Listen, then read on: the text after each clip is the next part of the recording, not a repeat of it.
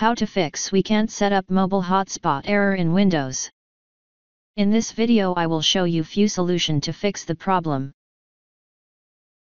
The Network Troubleshooter in Windows is designed to automatically find and fix issues with network connections.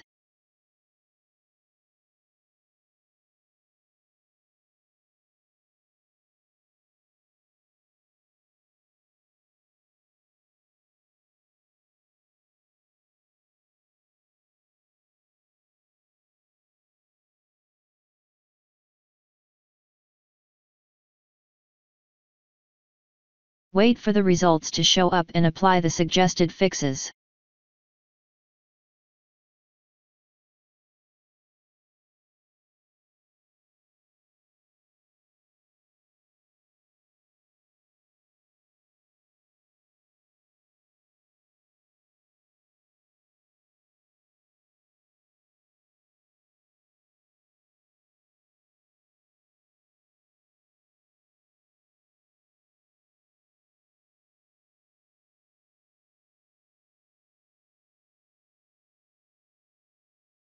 Windows updates often include fixes for known bugs and improvements for system stability.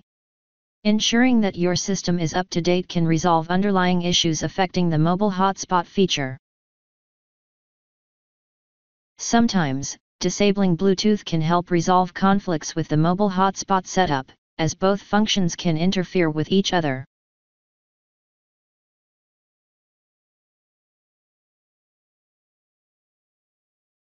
If that didn't work,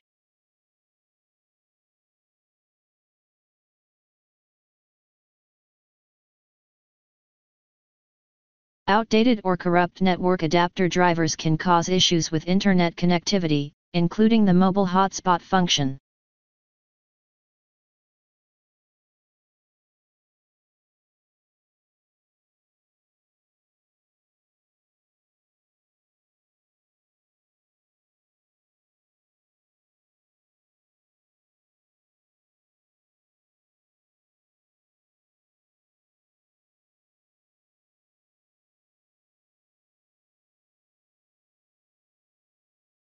Now restart your computer and try again and your problem should be fixed.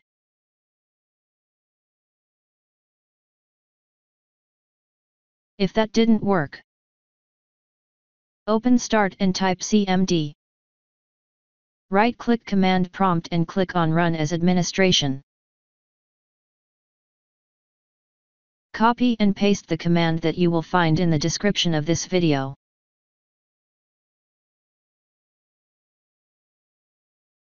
After entering all command restart your computer and try again and your problem should be fixed.